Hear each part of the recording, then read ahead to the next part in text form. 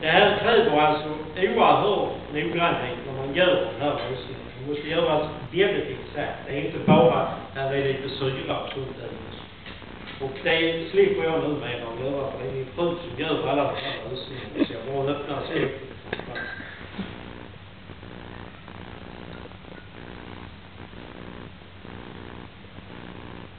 Men förr i världen när jag började med detta så fick jag hålla på med. Innan, innan han hade Det nått mycket jobb för att göra detta exakt. Man måste mäta exakt. Nu häller jag ner det andra oxidationsmedlet. Jodatet. Och sen har jag då flaska C som innehåller malonsyra, mangan som katalyserar detta.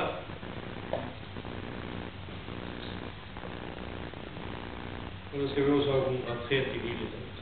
Och sen där på stärkelse detta. För att just indikera jodhalt.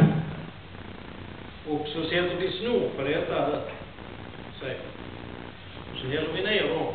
Nu har jag två ämnen där. Tre ämnen här. Fem ämnen rent slumpmässigt ner här.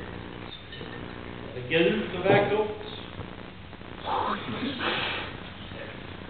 Och eh, då slår vi om till blått. Och det blå är alltså stärkelsekomplexet med jod som är sådär väldigt blått. Nu tog joden slut.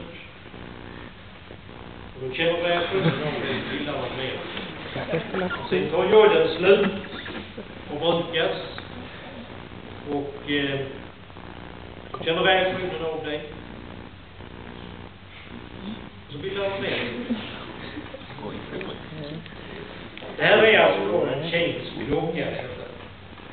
Eller en oscillerande reaktion. Sådana här oscillerande reaktioner, de är alltså hårt kopplade. Det är alltså många reaktionsmekanismer steg som är kopplade. För att man ska få det här.